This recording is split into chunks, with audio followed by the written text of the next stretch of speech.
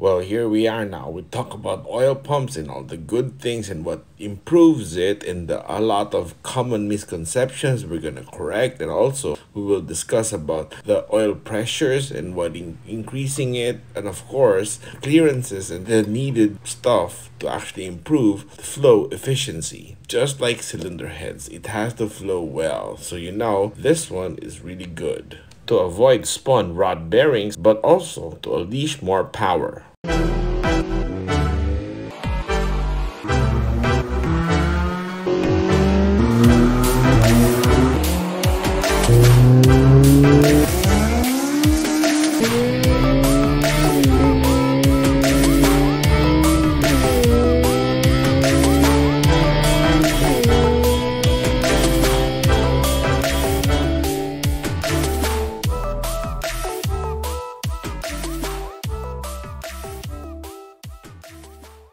All right, here, this is a B18C oil pump and then a late model B20, 97 onwards B20. Okay, let's kind of remove the cover.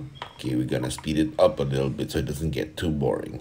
All right, the reason why we're just disassembling this is because the side clearances of the oil pump gears are is what reduces or actually wears out and you start to have low oil pressure. So which leads to you know low oil volume. And why do you wonder? Well because the oil pump gears are steel and the housing is aluminum. So of course the softer material the aluminum will receive the wear before the pump gears. All right here let's remove this. Oh in there. Okay let's wipe this off a bit with, with the tissue because it's kind of oily. All right, we will show you here the wear pattern and you get to remove this by resurfacing it. All right, wait, so let's show you the oil pump itself. All right, here, here after wiping it, you can see people will claim that you know the pump they get the pump or they have a pump that's have that has a bigger oil pump gears when you look at this there's no way it can be bigger or even wider because look right? Okay anyways right? Here the clearances from the side play it actually increases through time through wear this part.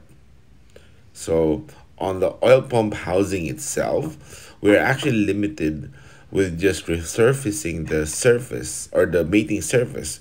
But in this instance, we usually don't resurface the oil pump itself, but the, but the oil pump cover. All right, let me show you here. You can see the wear is starting to set in on the housing itself because that's aluminum and this gear is steel. All right, oh, sorry, there. Okay. So let's return it. Let's show you the other stuff. All right, there. Okay, with a cover. Here, you can actually see closer the wear there. You can feel the ridge. That wasn't there before. So as the mileage goes up, this wear increases and that increases the side play of the gears. It actually lessens the oil pump capacity. Therefore, it actually lessens the oil pressure, you know? All right, so let here. Let me show you a similar one, but this one is a VW Beetle oil pump by Schadek. Look, it's Bomba de Oleo. This is also made in Brazil. And also, of course, in Brazil, they speak Portuguese.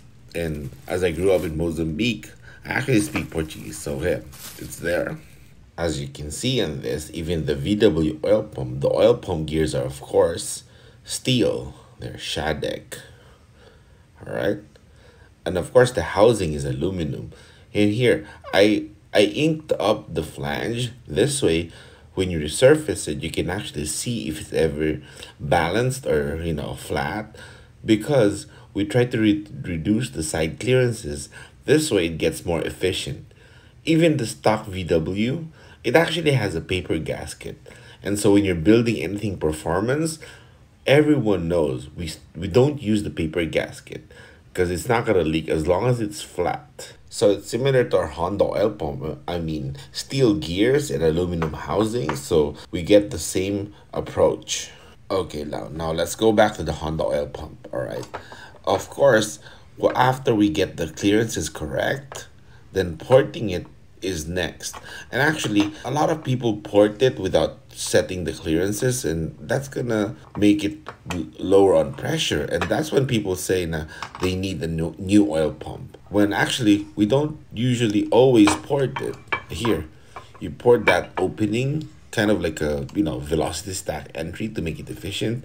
And here, uh, you can see there's a corner there. We actually remove that this way. The turn becomes a lot better. All right. And even Jasper or EcuLater's B20, the one that's been running since 2017, it revs to 9,700 RPM. It's not even ported, but the clearances were corrected. As well as my all-motor D16A6. It was not even ported, but we set the clearances, and that's why it's called blueprinting your oil pump. Okay, here, so, so we can be clear about it or clarify all the things. As the crank turns, the gears turn, the oil is sucked from here, all right, then feeds to the gears, and then goes here and turns into the block. This is the where the relief spring is, the pressure relief spring. It opens, I think, around 85 or 90 psi. When it reaches that limit, it opens and it relieves the oil here so look, if you look at it, the oil relief, Honda could have dumped it back to the oil pan, right? But hey, they chose this area because as the oil is relieved from here when it reaches the maximum or the limit of the pressure, it comes back to the oil pump gears. This way, it prevents or avoids cavitation. That's how smart Honda was. So when you think about it, shimming this to increase the limit, that means even at red line, you're actually causing the oil pump to cavitate. That's quite dangerous. So this is something that we don't usually shim.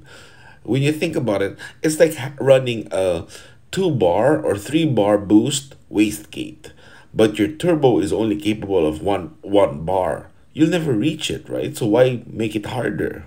Now here, let me show you Grumpy's article. This is a V8 related. It says here, back in the 1950s and 60s, it was common to pull the pressure relief spring retaining pin in the oil pump and the, that retains the pressure relief spring and insert a washer to shim it between the pin and spring and pressure to the spring. This mod has zero effect on low RPM because it simply delays the pressure relief spring from opening until a bit more so or higher peak oil pressure is reached, thus forcing the pump to build more pressure before the, re the relief O valve opened. This was before properly designed higher pressure springs were available. This could be done, but it frequently caused problems.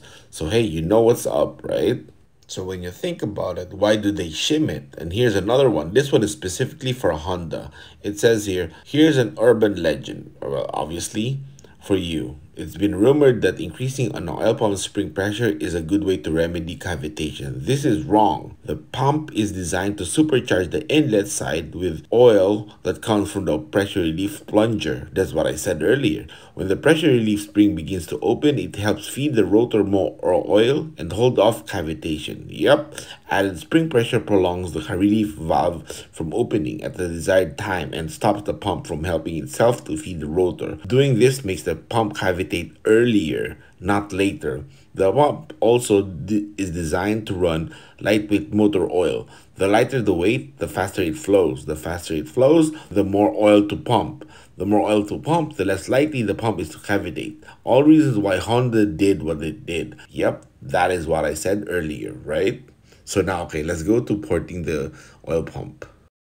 All right, now here, let's remove the gears. We actually ported this and then cleaned it up and just assembled it. So let's remove this to show you guys. And here, as we showed earlier, look at this. Now it's flared well, like a kind of like a velocity stack, right? This lets flow inwards better. And the corner here, we actually removed the corner, blended it well. You can see through and through. And this is much the same as cylinder head. You port this too much, you kill airspeed. In this case, oil speed. So, you know, it's the air is still fluid. So We don't really, uh, you know, like I said earlier, we actually just blueprint the cover and get all the clearances good. We rarely port the oil pump. But hey, in times like this, it's worth porting it to show you guys, right? All right, let's put this back before we, you know, lose the gears again. All right, get this good. All right, there. Okay. Now, let me show you the other one right there. Okay, get the cover. Here's the cover of the B20. You can see the wear, right? Okay, let's put this on the side. And let me show you the B18C oil pump that, that we have, that we did earlier. Let me remove the cover or the back cover, whichever you want to call it. To show you guys, we finished resurfacing it. Right, here. Okay. Now, okay, we got to speed this up because it's going to get too boring. All right. Let's go faster now. All right. And you know what? This, the oil pressure is not always just the oil pump. If you have looser bearing clearances, like the main bearings and the rod bearings, it kills oil pressure. This is why, if you've noticed, most of our builds run OEM main bearings if it's for the street. Okay, here, you can see it's all resurfaced and you see the ridges are gone, it's all good, right? I mean, here at the bottom has a dipper ridge, but we didn't remove that because it's gonna get too thin. But overall, this is a lot better than before. And of course, when you get like 0.002 of a clearance, that small, it kills oil pressure. Look at this.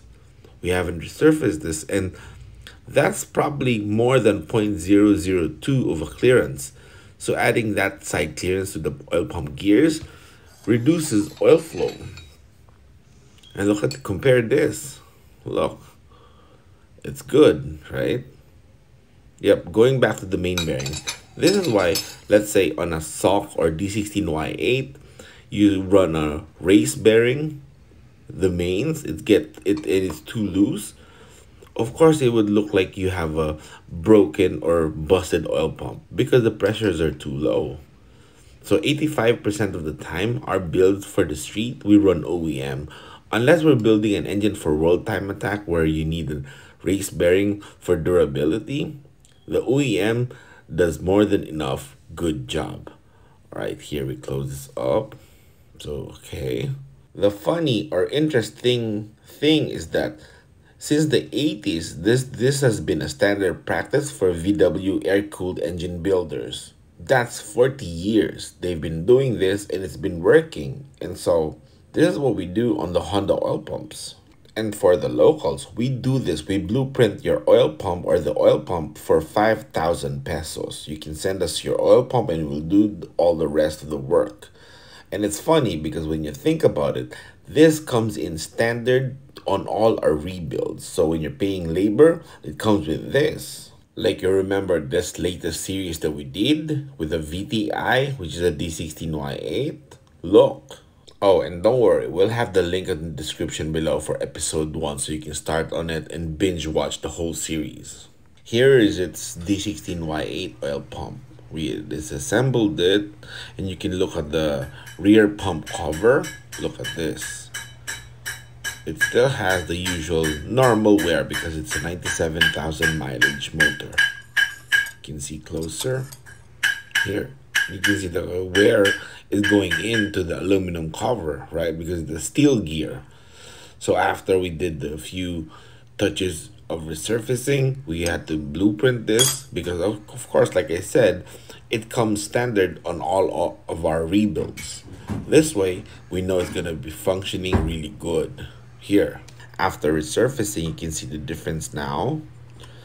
The wear ridges are gone right? I mean, it's still there, the deep ones, but overall, it's a lot smoother and less wear than previously. Look, right?